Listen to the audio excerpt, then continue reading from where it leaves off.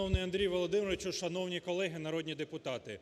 Фракція Радикальної партії послідовно виступає за здешевлення кредитних ресурсів для реального сектору економіки. Але те, що нам пропонується сьогодні ратифікувати, воно призведе тільки для одного – те, що пільгові кредити будуть отримувати е, е, низькотехнологічні компанії з сировинної економіки, з старої економіки. Бо так було попередні роки. На жаль, пропонуючи сьогодні ратифікувати цей законопроект е, парламенту, уряд не передбачив пріоритетів, уряд не передбачив, що кредитні ресурси мають піти виключно на високотехнологічні виробництва. Вони мають піти на машинобудування, літакобудування, вагонобудування, кораблебудування і так далі.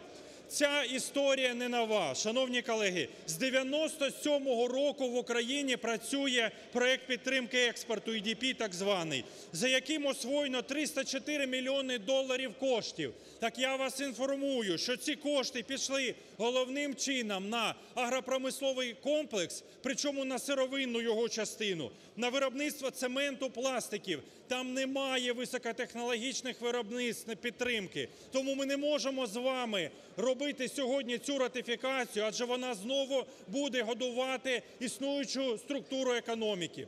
Шановні колеги, і кредитна політика, і податкова політика, і регуляторна – це не просто е, якісь нейтральні заходи, які ми з вами приймаємо. Ми маємо приймати такі механізми, які будуть міняти структуру економіки від сировинної до готової продукції. Бо так ми скоро залишимося взагалі сировинним додатком Європи і донором кадрів, які на сьогодні ми вже майже є. Тому не можна ратифікувати, повернути, уряду прийняти чіткі пріоритети, що тільки для високотехнологічних виробництв і тоді підтримати.